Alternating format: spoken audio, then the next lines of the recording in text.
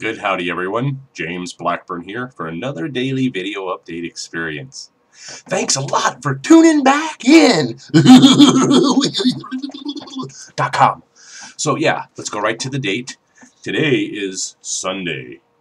It is September 16th, 2012. It's day 200 and, hold on, hold on, wait for it, checking my notes. It's day 293 of 366. Now, I don't have a lot of news today because it's Sunday.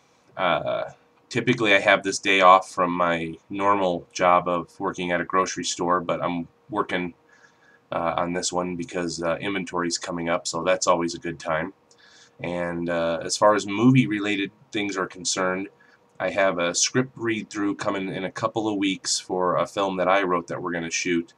And hopefully within a couple of weeks of the next rehearsal, we'll be able to start shooting it. It's uh, going to be an awesome little short film, and I'm really excited about working with the actors that I, have gotten lucky enough to cast on this film.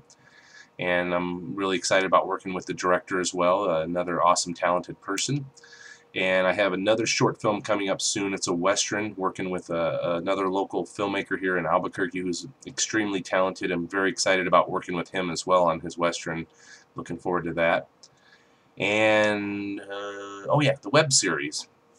If you've been watching for the last week, you've seen that I shot from a movie set on four different days.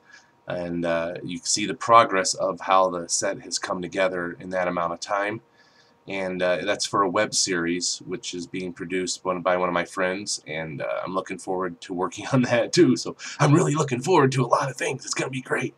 So anyway if you guys have any questions and or comments please feel free to leave them thanks.